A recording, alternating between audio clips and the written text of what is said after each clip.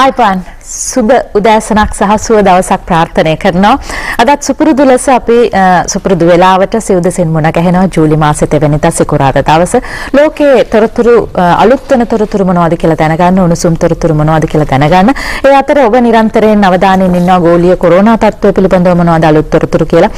ඒ පිළිබඳවත් අදත් අපි ප්‍රවෘත්ති එකතු කරගෙන තිබෙනවා. හැබැයි එය තරම් යහපත් තත්ත්වයක් අපිට ගෝලීය කොරෝනා තත්ත්වය පිළිබඳව දකින්නට ලැබෙන්නේ නැහැ. එය අපේ රටටත් අපිටත් පොදුවේ ගත්තම එය සුබදායි ආරංචියක් නෙවෙයි. කොහොම වුණත් අපි බලමු කොහොමද මේ තොරතුරු වාර්තා වෙන්නේ කියලා ලෝපුරා. ඉතින් අද දවසේදී ප්‍රවීණ විදේශ විත්ති විචාරක මාතවේදී ප්‍රසාද් දොඩංගොඩ සූදානමින් ඉන්නවා මේ තොරතුරු විශ්ලේෂණාත්මකව ඔබට කියන්නට. අයිබෝන්. ප්‍රසාද් තෝරාගත් තොරතුරු පෙළගැස්ම බලලා අපි කතා කරමු. ඊයේ චීනයේ පාලක පක්ෂ කොමියුනිස්ට් පක්ෂයේ සියවෙනි සංවත්සරය සැමරුවා. ඉතින් බේජිංහි ටියනමෙන් චතුරශ්‍රය තමයි පැවැත්වුනේ 70000ක් පමණ පිරිසක් එයට සහභාගී වුණා. සාමාන්‍යයෙන් මේ උත්සවය ඉතාම උත්කර්ෂවත් ලෙස වුන් සංවිධානය කරනවා.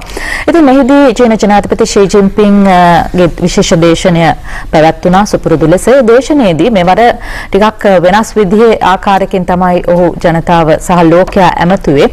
ඔහු සඳහන් කර සිටියා චීනයට විදේශ අතපෙවීම් තවදුරටත් සිදු කරනවා නම් ඔහු නිහඬව නොසිටින බව. මම හිතන්නේ විදේශ මාධ්‍ය අතර මෙය විශේෂයෙන්ම BBC වගේ මාධ්‍ය අතර මෙය දැඩි කතාබහට ලක් වුණු ප්‍රවෘත්තියක්.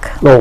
දැන් මේ චීන ජනාධිපතිවරයාගේ ප්‍රකාශයත් එක්ක සුනේත්‍රා අපිට දකින්න ලැබෙනවා ඔබ කිව්වා වගේම දැන් ඔබටත් අත්දැකීම් තියෙන චීනයේ මේ වාර්තාකරණය සම්බන්ධයෙන් දැන් මීට පෙර අවස්ථාවල සාමාන්‍ය චීන ජනාධිපතිවරයා මේ වගේ අවස්ථාවක වගේ මේ කොමියුනිස්ට් පක්ෂ වාර්ෂික මේ මේ සම්මේලනයේදී ප්‍රකාශයක් කරනකොට ඔහු වැඩිපුර ප්‍රතිපත්තිමය ප්‍රකාශයක් කරන ඉදිරි වැඩ පිළිවෙල වගේ අරමුණු සම්බන්ධය.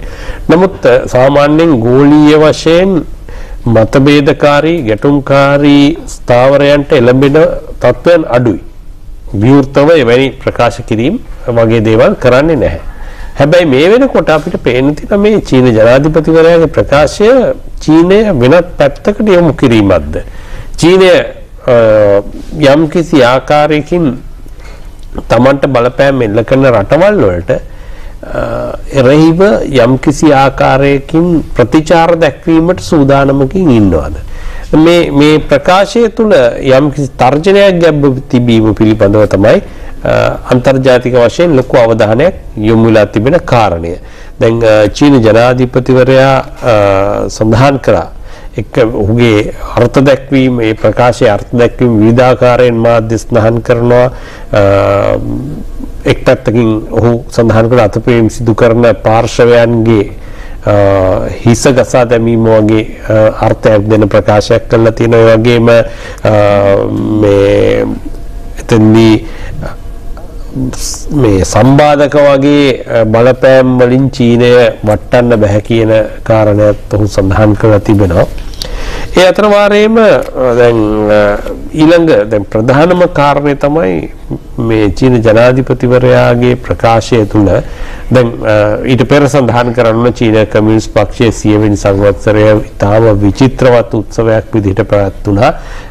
එය මෑත කාලීනව තිබ්බ චීනයේ තිබ්බ ලොකුම උත්සවයක් විදිහට හඳුන්වන්න පුළුවන්. ඒ අතර වාරයේදී මේ එකක් චීනය කොරෝනා වෛරස් ව්‍යාප්ති නිසා පසුගිය කාලවකවානුවේ පසුගිය වසර කාලය තුල ඔවැනි ප්‍රසිද්ධ ඒ වගේම විශාල මහා පරිමාණයේ උත්සව වලින් වැළකීලා හිටියා. ඒ නිසා දැන් කොරෝනා තර්ජනය බොහෝ දුරට පිටු දැක තිබෙන නිසා චීනය මේව උත්සවය කියන්නේ කමියුනිස්ට් පක්ෂයේ සියවෙනි සංවත්සරය කියන උත්සවය ඊටාම විචිත්‍රවත්ව ඒ වගේම ඊටාම උත්කර්ෂවත්ව පැවැත්වීමට පියවර ගත්තා. හැබැයි අපිට වාර්තා වෙනවා දැන් ඔය විශාල පිරිසක් සහභාගී වෙලා සිටියා. ඒ සහභාගී වූ පිරිස පරීක්ෂණ වලට ලක් කළා උන් තෝරාගත් පිරිසක් තමයි මෙතන කියන සෞඛ්‍යමය අනතුරක් ඇති නොවන ආකාරයෙන් තෝරා ගන්නා ලද පිරිසක් තමයි මේ උත්සවයට සහභාගී කරගෙන තියෙන්නේ කියලා දැඩි පරීක්ෂණ සහ සෞඛ්‍ය ක්‍රමවේද වලින් පස්සේ කියලා චීන මාධ්‍ය වාර්තා කරනවා. එතකොට දැන් මේ උත්සවය චීනයට පෙන්වන්න ඕනුනා තමන්ගේ අ, ශක්තිය ඒ වගේම තමන් මේ ගෝලීය වශයෙන් අනිකුත් රටවල් ඉතාම දැඩි අවධානයකට මුහුණ දීලා ඉදි කොරෝනා තර්ජන නිසා චීනයෙන් තමයි කොරෝනාව ආරම්භ වුණේ දැන් මේ ආරම්භය පිළිබඳවත් චීනය සහ ඇමරිකාව අතර මතභේද තියෙනවා දැන් ඒ අ, කොරෝනා ආරම්භයේ චීනයෙන් වුණාට චීනය එය සාර්ථක ලෙස පිටු දැකලා මේ වෙනකොට ඕන් ඉතාම ශක්තිමත් තැනක ඉන්නවා කියන එක පෙන්වන්න අවශ්‍ය වෙලා තිබුණා. එය සමහර විෂුවලි එහෙමත් නැත්නම් මේ අ, ලෝකයට දැහින් දැක ගන්න ආකාරයේ අ, උත්තර දීමක් එහෙමත් නැත්නම් අ, ප්‍රතිචාරාත්මක වැඩසටහනක් විදිහට තමයි මේ අ, කමියුනිස්ට් පක්ෂයේ සියවෙනි සංවත්සරය අ, සකස් කරලා තිබුණේ. දැන් මාස කිහිපයකින් ඉඳලා මේකට ලෑස්ති වුණා. කොටින්ම දැන් අ, අපේ අ, ජාතික රූපවාහිනී ඊතවත් එක්ක මෝතිලාල් හිස්සැල්ල මේ වෙනකොට චීනයේ මාධ්‍ය කටයුතු වල දෙන හිස්සැල්ල සඳහන් කරා මේ අ, මාස කීපෙල මල් පාත්ති පවා හදලා තිබුණා කියලා. කියන්නේ විශේෂයෙන් ඔය ප්‍රසිද්ධ ස්ථානවල මල් පාත්ති මවලා ඒවා මල් පිපෙන්න තත්වයට සකස් කළා ඒවා අර විචිත්‍ර විදිහට සීය සටහන් වෙන ආකාරයෙන් ඒ තරම් ඕන් දැක්මක් ඇතුව ඒ කාල වේලාවට කලින් හැමදාමත් එහෙම සූදානම් වෙනවා. ඔව් ඒක තමයි. ඉතින් අන්න ඒ වගේ දේවල් පවා දකින්න ලැබුණා. ඒ කියන්නේ ලොකු සූදානමක් මේකට තිබුණා කියන දේ අපිට පැහැදිලි වුණා.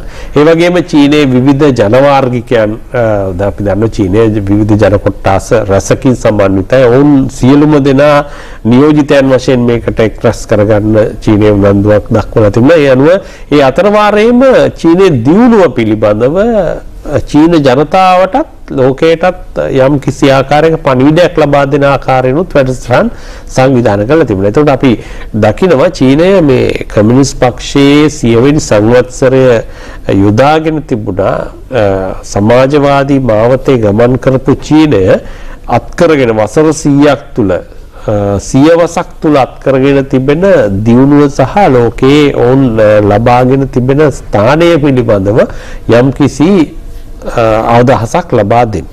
එතකොට දැන් චීන ජනාධිපති ෂී ජින්පින් මෑත කාලීනව අපි දන්නවා මාව් සේතුන් සහ ඩෙන් ෂියාओෆින් කියන නායකයන් දෙපළට පස්සේ උන් දෙදෙනාම චීනයේ අ, මතවාදීමය වශයෙන් ඒ වගේම චීනය අ, අනාගතයේ චීනයේ ගමන් මඟ සකස් කිරීම සඳහා පැති දෙකකින් දායක වූවන් දෙදෙනෙක් ඉන් පසුව අ, ශ්‍රේෂ්ඨ නායක කියන පදවිය කියන්නේ මේ දැක්ම ප්‍රබල දැක්මක් සහිත අ, මතවාදීමේ වෙනසක් කරන්න ඉදිරිපත් වෙච්ච නායකයා විදිහට තමයි ෂී ජින්පින් නම් කරලා තියෙන්නේ. ඒ අනුව ඔහුට විශේෂ තැනක් හිමි වෙලා තිබෙනවා.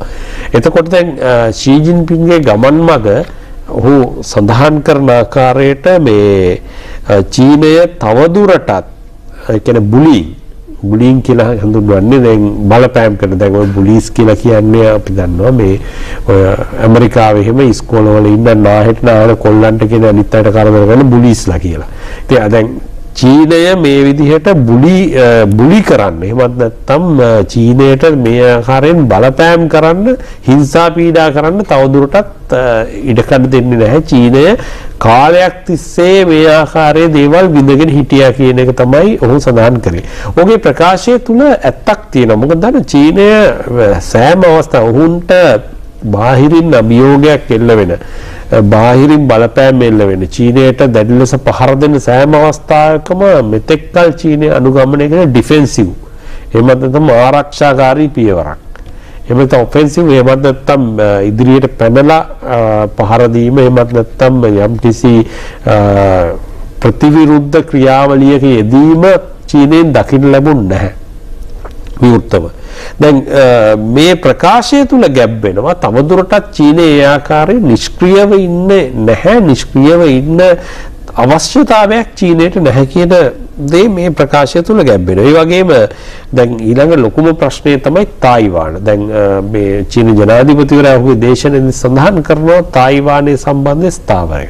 අපි දන්නවා චීනය අ, මහජන චීනයේ බිහි වෙද්දී අ, චීනයේ එතකොට හිටපු ජාතිකවාදී පාලකයන් තමයි තායිවාන දූපතට පලා ගිහිල්ලා අ, මේ චීන ජනරජයේ විදිහට රිපබ්ලික් ඔෆ් චයිනා විදිහට ස්ථාපනය වෙන්නේ. එතකොට අ, චීනය මුල් යුගයේදී මහජන චීනය පිළිගත්තේ නැහැ. එතකොට 1950 60 70 දශකයේ වෙනකම්ම ගෝලීය වශයෙන් ලොකු පිළිගැනීමක් තිබුණේ නැහැ මහජන චීනයට. නමුත් ඒ ඒ ස්ථානය ලබාගෙන තිබුණේ තායිවාන දූපත තිබිච්ච ජාතිකවාදී පාලනය. ඉන් පසුව තමයි ලෝකය මහජන චීනය ක්‍රමක්‍රමයෙන් පිළිගත්ත ශ්‍රී ලංකාව මහජන චීනය පිළිගත්ත මුල්ම කාලීන රටවල් වලින් එකක්.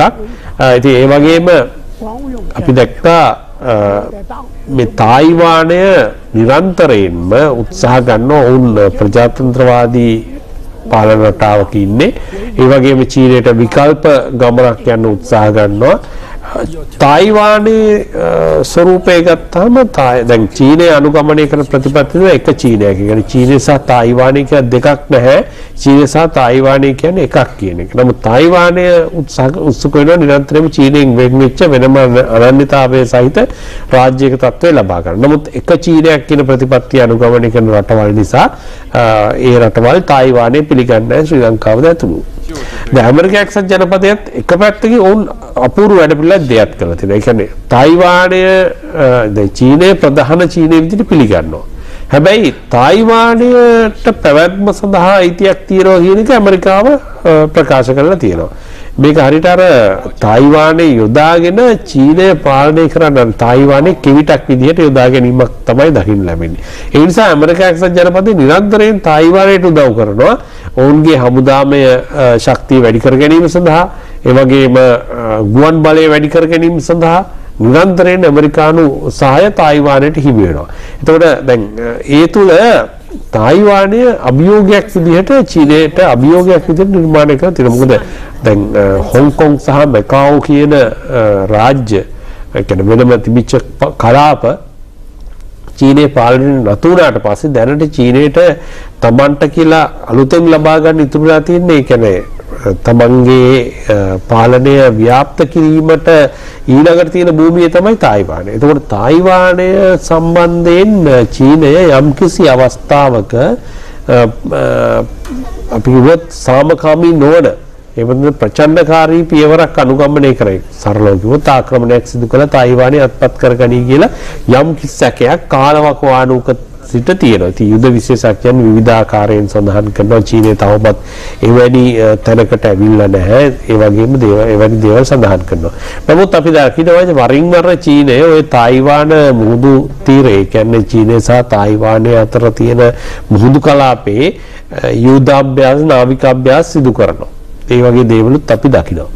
ඒ අනුව ගත්තාම තායිවානය සම්බන්ධයෙන් චීන ජනාධිපතිවරයා ඊයේ පැහැදිලිවම සඳහන් කරලා තිබෙනවා තායිවානය Tamanගේ රටේ අයිතියක් එම අයිතිය කියන්නේ එය වෙන් කිරීමට හෝ එය යම් ආකාරයකින් ඒ වෙන් කිරීමට සහාය දැක්වීමකට එරෙහිව චීනය ක්‍රියා කිරීමට සූදානම් කියන කාරණය. ඉතින් මේ අනුව බැලුවහම අපිට පැහැදිලිව පේන්න තියෙනවා චීනය ඊටාම ප්‍රබල තැනක ඉන්න බව ලෝකයට යම්කිසි පණිවිඩයක් මේ ලබා දෙන්න මේ උත්සව මාලාව යොදාගත්ත කියන කාරණේ. ඒ වගේම මේ පණිවිඩය තුල ගැඹුණා මෙහෙම දෙයක් only socialism can save China and only socialism which uh, Chinese characteristics can develop China. ඒ කියන්නේ චීනය ආරක්ෂා කළ හැක්කේ සමාජවාදයට පමණයි. ඒ වගේම චීනය දියුණු කළ හැක්කේ චීන චීන ක්‍රමයට අනුගත වූ සමාජවාදී ප්‍රතිපත්ති වලට අනුවයි කියන මතයත් මේ සියවෙනි සංවත්සරය කමියුනිස්ට් පක්ෂයේ සියවෙනි සංවත්සරයත් එක්ක චීනය ගෙනහැර දක්වලා තිබෙනවා. ඉතින් මේ අනුව බැලුවහම අපිට ඊටාම මේ පෙරලියක් එහෙමත් නැත්නම් යම්කිසි හැරවුම් ලක්ෂයක් විදිහට හඳුන්වන්න පුළුවන් අන්තර්ජාතික දේශපාලනයේදී. මොකද මේ සමගම චීනය එක්තරා ආකාරයක මේ බලවත් තැනකට අවතීර්ණ වුණා කියන පණිවිඩය ලබා දීමත් නිසා. සමස්ත මානව වර්ගයාටම බලපෑම් ඇති කරන ගෝලීය උෂ්ණත්වය ඉහළ යාම පිළිබඳව වාර්තා වෙනවා. මේ දවස්වල ප්‍රතිඵල දකින්නට ලැබෙනවා. උතුරු ඇමරිකාවෙන් සහ කැනඩාවෙන් මේ අතරින් කැනඩාවේ ඉහළම උෂ්ණත්වය මෙතෙක් වාර්තා වූ ඉහළම උෂ්ණත්වයත් වාර්තා වෙනවා. ලැව් ගිනි සහ පුද්ගල මරණත් එක්ක. දැන් මේ තත්ත්වය තුළ අ, කොහොමද කැනඩාවේ නවතම තොරතුරු? ඔව් ඇත්තටම කැනඩාවේ දැන් සුනිත්‍ර සඳහන් කළ පරිදි සෙල්සියස් සංසක 49.6 තමයි උපරිම උෂ්ණත්වය විදිහට මේ සතිය වාර්තා වුණේ.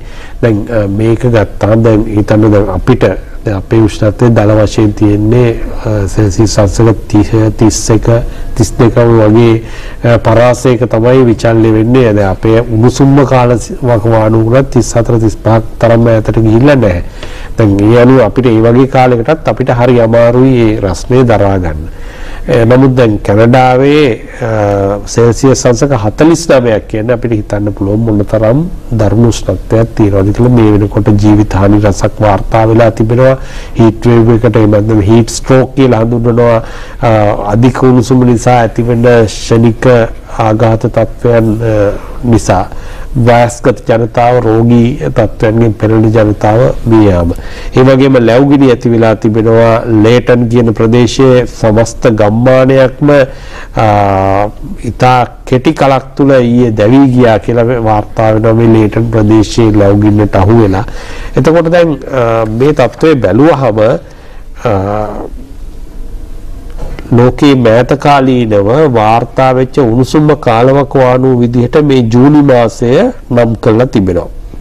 එතකොට අ, මේ විශේෂයෙන්ම මේක බලපාලා තියෙන්නේ උත්තරාර්ධගෝලීය රටවලට. උත්තරාර්ධගෝලීය රටවල උණුසුම්ම කාලවකවානුව විදිහට තමයි අ, මේ කාලවකවානුව කියන්නේ ජූනි මාසයේ හඳුන්වනු ලබන්නේ. ඒ කියන්නේ බොහෝ රටවල උෂ්ණත්වය ඉතාම ඒ කියන්නේ සෙල්සියස් අංශක 40 සහ 50 අතර විචල්යක් පෙන්눔 කරලා තියෙනවා. මේ නිසාම උත්තරාර්ධ ගෝලය කියන්නේ අපි ගත්ත ලෝකයේ අර අ, ගෝලාකාර උතු- උඩ කොටස නෙමේ. එතකොට දැන් මේක හඳුන්වලා දැන් හීට් ඩෝම් කියලා. ඇත්තට හීට් ඩෝම් කියන්නේ මේ උණුසුම් අ, ගෝලාකාර අ, ප්‍රදේශය කියන අර්ථය ලබා දෙන්න ඊට හේතුව තමයි අපි මෙන්න මේ දකින්න කාරණේ මේ සිතියමෙන් ඉතාම හොඳට පැහැදිලි වෙනවා අ, මොනතරම් දරුණු විදිහට උෂ්ණත්වයේ ඉහළ ගිහිල්ලා තිබෙනවද කියලා ඔය රතු පාටින් පෙන්눔 කරන අ, කලාපය ගත්තාම ඉතාම දරුණු විදිහට උෂ්ණත්වය ඉහළ යාමක් පෙන්눔 කරලා තියෙනවා. ඒ කියන්නේ සෙල්සියස් අංශක 50 සහ 45 අතර තියෙන අ, ප්‍රදේශ තමයි අපි මේ සිතිමේ දැක්කේ අ, මෙරූන් පාටින් සහ තද රතු පාටින් පෙන්눔 කරලා තියෙනවා. දැන් ලංකාව උතන අයිති වෙන්නේ සෙල්සියස් අංශක 30 35 කාණ්ඩයට තමයි ඔබට පේනවා සිතිමේ ලංකාව අ, රතු කලාපයට තාම ඇතුල් වෙලා නැහැ. ඊට හේතුව තමයි අපි අර දූපතක් විදිහට මුහුදේ වටලා තිබීම නිරන්තර අ, සුළං රැලි අ, සු වායවේ කියන්නේ මෝසම් සුළං වලට ගොදුරු වීම කියන කාරණාත් එක්ක අපේ අර උණුසුම අ, තරමක් දුරට පාලනය වෙලා තිබෙනවා. නමුත් දැන් අපිට උනත් තේරෙනවා දැන් මේ දවස්වල වහිනවා. ඇත්තට වැස්ස තිබුණාට වෙන කාලයක වැස්සත් එක්ක අපිට අර දැනෙන සීතල සහ ඇඟට දැනෙන සනීප තත්ත්වය අපිට දැන් දැනෙන්නේ නැහැ. යම් කිසි ආකාරයක උණුසුමක් කොච්චර වැස්සත් රස්නේ ගතිය අඩු වෙන්නේ නැහැ කියලා හැමෝම කියනවා. ඉතින් මේක අපිට මේ ඇහැට දකින්න පුළුවන් ගෝලීය උණුසුමේ වෙනසක්. දැන් උදාහරණයක් විදිහට ගත්තාම මේ අ, 1900 කාලවකවානු ඉඳලා මේ වෙනකොට සෙල්සියස් අංශයක එකකින් ගෝලීය උෂ්ණත්වය වැඩිලා තියෙනවා. මේක විශාල වෙනසක්. ඒ කියන්නේ සෙල්සියස් අංශක එකයි කියලා අපි මේ සංඛ්‍යාත්මකව එක කියලා හිතුවට මේ එකක වැඩිවීම තුල විශාල හානියක් සිද්ධ වෙනවා. දැන් ඊළඟ මේ ඔය ගෝලීය දේශගුණික වෙනස් වීම නතර කිරීමේ වැඩපිළිවෙලේ පරිසම්මුතිය වගේ දේවල් වල අරමුණ වෙලා තියෙන්නේ මේ අ, උෂ්ණත්වය නැවත වතාවක් පල්ලෙහාට ගෙනීම. ඒ උණුසුම් වැඩි කරන මේ තියෙන්නේ අපි දකින ඔය අ, මේ chart එක අ, කොහොමද වැඩි වෙලා තියෙන්නේ කියලා බිඳුවේ ඉඳලා අ, ර- මේ එතනින් එහාට ඇතැම් විට බිඳුවට පල්ලෙහා ගියපු වකවානුව ඇති වුණා මේ සමස්ත ගෝලීය උෂ්ණත්වය. ඉන් පසුව අ, වැඩිවීම තමයි එක දිගට වැඩිවීම තමයි පෙන්눔 කරන්නේ. ඉතින් අ, ලෝකයේ මේ දේශගුණික වෙනස් වීම පිටුදැකීමේ ක්‍රියාවලියේ අරමුණ වෙලා තියෙන්නේ මේ අපි දකින ආකාරයේ උෂ්ණත්වය මේ අපිට දක්- අත්දකින්න අ, වෙලා තියෙන උෂ්ණත්වය පහළට ගෙනීම. ඒ කියන්නේ කාර්මික යුගයට අ, පෙර ආතුව පැවැත් තත්වයට ගෙනීම තමයි අරමුණ වෙලා තියෙන්නේ. නමුත් ඒක ඉතාම අමාරු කාරණයක් මේ බැලුවහම වර්තමානයේ මොකද ඇත්තටම තවමත් අ, බොහෝ රටවල් ජෙනුවින්ලි එහෙමත් නැත්නම් අවංකවම මේ වැඩපිළිවෙලට සහාය දැක්වීමක් කරන්න එහෙම නැතුව අපි දැන් ওই G7 සමුළුව G7 කණ්ඩායමේ සමුළුව පැවති අවස්ථාවේදී දැඩි විරෝධතා පැවතුණා මොකද ඒ සමුළුවෙන් ඔවුන් රාජ්‍යනායකයන් පවා තිරසාර වැඩපිළිවෙලක් නොව යම් කිසි ආකාරයකට කරන්න ඕන නිසා කරන්න මේ වැඩපිළිවෙලක් ලෙස ඔවුන්ගේ න්‍යාය පත්‍රයේත් මේ ගෝලීය දේශගුණික වෙනස් වීම ඇති වෙලා තිබුණා. ඉතින් අපි දකිනවා ලොකු අවධානමක් තියෙන ලෝකයේ හමුවේ. මේ බලපෑම් ක්‍රමක්‍රමයෙන් අපිට දැනෙන්න පටන් ගනී. දැන් උත්තර අර්ධගෝලය මෙතරම් දරුණු උෂ්ණත්වයකට ගොදුරු වෙද්දී තියෙන ප්‍රධානම තර්ජනය තමයි හිම තට්ටු උත්තර ධ්‍රවයේ ආසන්නව තියෙන හිම තට්ටු අයිස්ලන්තේ වගේ මේ මේ ග්‍රීන්ලන්තේ වගේ රටවල් වල තියෙන දැවැන්ත හිම තට්ටු ශීඝ්‍රයෙන් දිය වෙලා යනවා.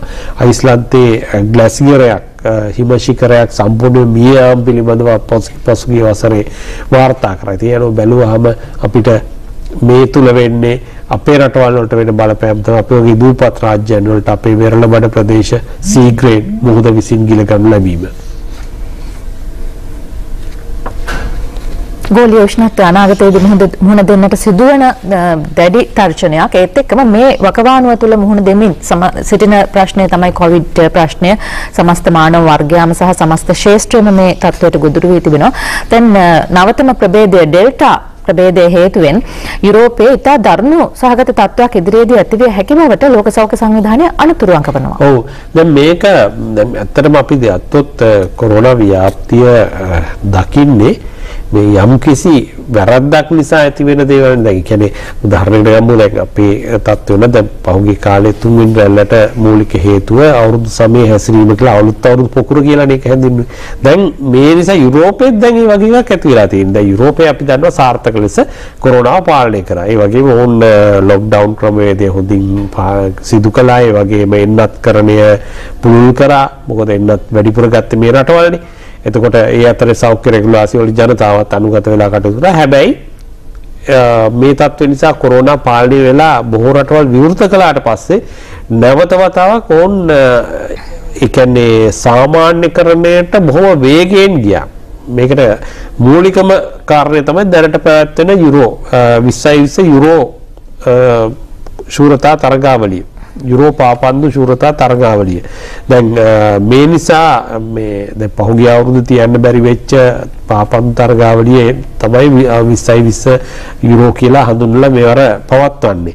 මේක අපි කියතු යුරෝපයේ මේක මේ සාමාන්‍ය ක්‍රීඩාවකට වඩා මේක ඔවුන්ගේ ඇටමිදුළු වලට කාවැදිච්ච අවස්ථාවක්. මේකද යුරෝපා ජාතිකයන් පාපන්දු කියන්නේ අර අපි කාලෙකදී ක්‍රිකට් වලට අපි දක්වපු ඇල්ම වගේම දෙයක් තමයි මේ යුරෝපා මේ ජාතිකයන් දැන්ටත් පාපන්දු වලට දක්වන්නේ.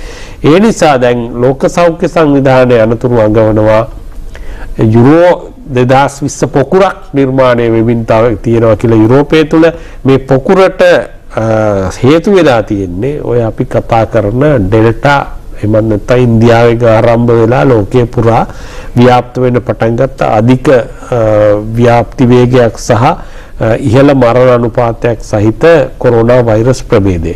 එතකොට දැන් දැනටමත් උදාහරණයක් විදිහට ගත්තහම මේ ස්කොට්ලන්තය බ්‍රිතාන්‍ය දූපතේ ඉහළ කොටස ස්කොට්ලන්තයෙන් අලුත් කොරෝනා අසාධ්‍යයන් එමත් ඩෙල්ටා අසාධ්‍යයන් දෙදහක් පමණ වාර්තා වෙලා තියෙනවා. මේ දෙදහම මේ යුරෝප ආපන්දු තරග නැරඹීම සඳහා සහභාගී වෙච්ච කණ්ඩායම් කියලා තමයි හඳුනාගෙන තියෙන්නේ. ඉතින් ඒ වගේම දැන් සමස්තයක් විදිහට ගත්තාම රුසියාව බ්‍රිතාන්‍ය ප්‍රංශය මේ රටවල් රැසක නැවත වතාවක් කොරෝනා හිස ඔසවමින් තිබෙනවා. දැන් පාපන්දු නෝලීන් කිසිදු වග විභාගයකින් තොරව අර පරණ විදිහටම හැසිරීම නිසා මේ වෙනකොට ලොකු තර්ජනයක් යුරෝපය තුළ නිර්මාණය වෙලා තියෙනවා. ඒ පාපන්දු නිසා යුරෝපේ. නමුත් අප්‍රිකාව ගත්තාම මේ කොරෝනාව ඉතාම පසුගාමී තැනක ඉන්න කලාපේ කොරෝනා ව්‍යාප්තිය තරමක් අඩු වෙලා තිබුණා අප්‍රිකාව. මොකද අප්‍රිකාව අර ලෝකයේ සෙසු ලෝකයේ සමග සම්බන්ධ වීම අනිකුත් මහද්වීප හා සලකන කල යම්කිසි අඩුවක් තියෙන නිසා නමුත් දැන් අප්‍රිකාව තුළ ව්‍යාප්තිය සීඝ්‍රයෙන් වැඩි වෙලා තියෙනවා කියලත් ලෝක සෞඛ්‍ය සංවිධානය පෙන්වා දෙනවා. Africa's COVID threat hits new levels. මේකට හේතු වෙලා තියෙන්නේ ඩෙල්ටා වෛරස් ප්‍රභේදය අප්‍රිකාව තුළ පුරාම ව්‍යාප්ත වීම මේක ඉතාම නරක තත්ත්වයක් දක්වා වර්ධනය වෙමින් තියෙනවා කියන එක තමයි රටින් රට තිබෙන වාර්තා අනුව අපිට දැක් ගන්න තියෙන්නේ.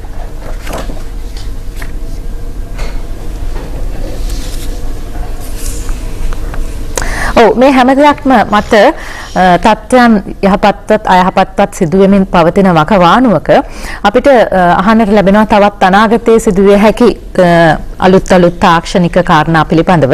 අභ්‍යවකාශයට ගමන් කිරීම සාමාන්‍ය ජනතාවට උන වාණිජ්‍යමය වශයෙන් ආරම්භ කිරීමේ සූදානමක් තිබෙනවා. ප්‍රකෝටිපතියෙකු තමයි මේ සඳහා අඩිතාලම තබන්නේ. ජූලි 11 වෙනිදා පළවෙනි කියන්නේ දැන් මීට කලින් අත්දැක බැලීම් කළා මේදී Eh, නමුත් පළමු වාණිජ අභ්‍යවකාශ චාරිකාව ජූලි මාස මේ මාස 11 වෙනිදා eh, සිදු කරනවා කියලා eh, කෝටි බ්‍රිතාන්‍ය කෝටිපති ව්‍යාපාරික ශ්‍රීමත් රිචඩ් බ්‍රැන්සන් ප්‍රකාශයට පත් කළා තියෙනවා.